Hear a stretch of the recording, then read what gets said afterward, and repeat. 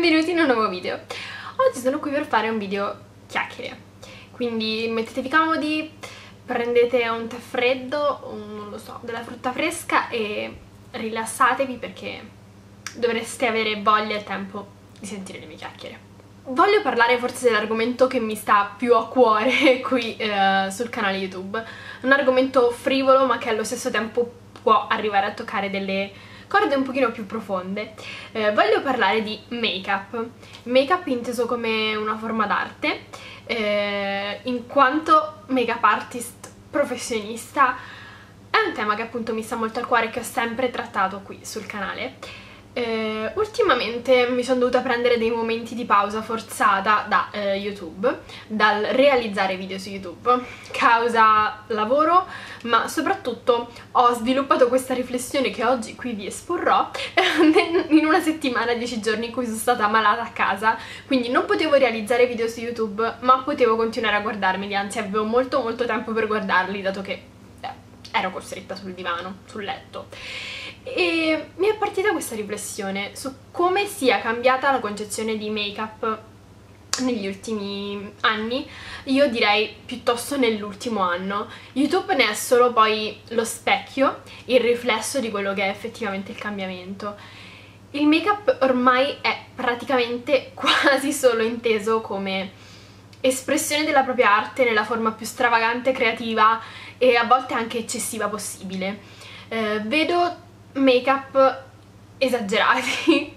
Esagerati mh, mm, non perché non portabili, non perché too much. Ognuno è sempre libero di esprimere la propria arte e la propria creatività come meglio crede però è come se ci si fosse un po' tutti omologati sulla stessa linea di pensiero e allora quella non è creatività, diventa allo stesso modo omologazione, diventa allo stesso modo un creare qualcosa uh, di uh, creativo, colorato, um, colorful, power, super glow, ma solo perché tutti stanno facendo così. E mi sento un po' di distinguermi, di uscire dalla massa rispetto a tutto ciò. Eh, non so se questo cambiamento di di questa visione nuova del make-up è stato portato anche magari con l'avvento di NYX in Italia perché sicuramente NYX è un brand che mh, mm, favorisce la creatività, l'esprimere se stessi, il non pregiudizio quindi il make-up come forma d'arte nella sua forma più evoluta, più alta, eh, ma credo che anche in quel caso però ci debba essere sempre un equilibrio. Questo è il mio pensiero personalissimo e ovviamente ci si può discostare anche da questo. Credo che però serva sempre un equilibrio tra ciò che è arte, creatività, eh, estro e ciò che invece è cattivo gusto.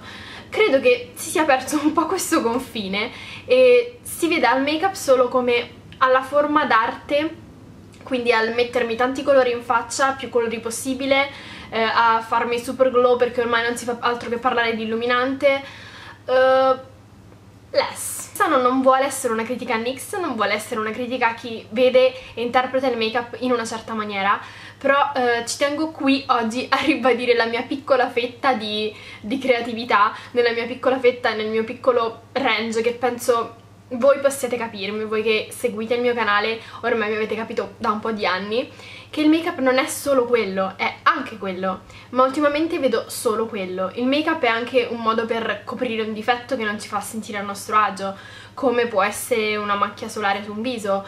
Il make up è anche forma di correzione come ad esempio non riesco ad accettare il mio naso e vado quindi a camuffarlo ehm, per renderlo più armonioso con il viso. Il make up è anche espressione della propria forma d'arte in una maniera molto sobria ed elegante. Quando faccio questo discorso mh, mm, mi vengono in mente i make up che realizzo quotidianamente su me stessa, non badate oggi che ho praticamente tanto per rimanere in linea col discorso ho solo mascara e rossetto quindi ok?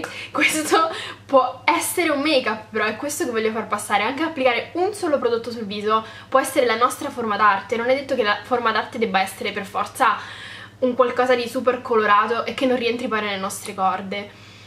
Credo che ormai si vada solo verso quella visione quando in realtà il make up è a 360 gradi. E quando vi stavo dicendo, quando mi viene in mente questo discorso mi viene in mente l'esempio di truccatrice per me top che dici dove vuoi arrivare e io vorrei arrivare lì che è Lisa Eldridge. Non so se la seguite è una make up artist famosissima fa anche video su youtube e ovviamente vi lascio il link giù nell'info box se non la seguite perché lei incarna il concetto che voglio spiegare. Realizza dei make up super naturali eh, che quasi non sembrano make up ma che ti cambiano il volto in una maniera impressionante.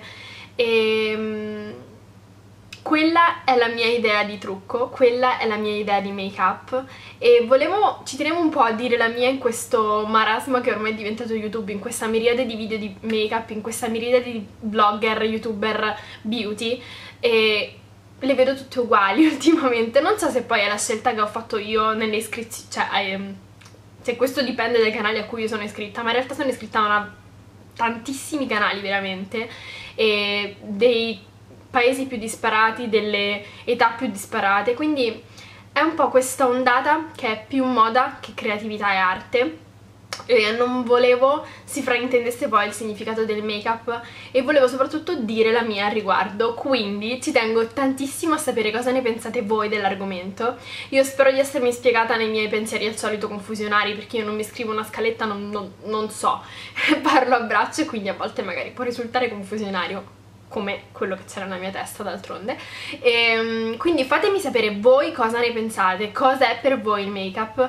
Uh, se vi ritrovate in questa uh, espressione del make-up a livelli estremi, quindi super colorata, super powerful, a volte un pochino eccessiva e un pochino poco portabile per tutti i giorni, ci tengo a precisare poco portabile per tutti i giorni o seppure anche voi vi eh, incasellate, se così si può dire, in una uh, visione di make-up più naturale, più correttiva, più beauty, più di abbellimento piuttosto che di trasformazione del proprio volto e del proprio corpo. Quindi fatemi sapere assolutamente nei commenti cosa pensate, io risponderò ovviamente, ovviamente ad ognuna di voi come sempre e grazie per aver ascoltato le mie chiacchiere e il mio pensiero, vi mando un grandissimo bacio e ci vediamo alla prossima, ciao!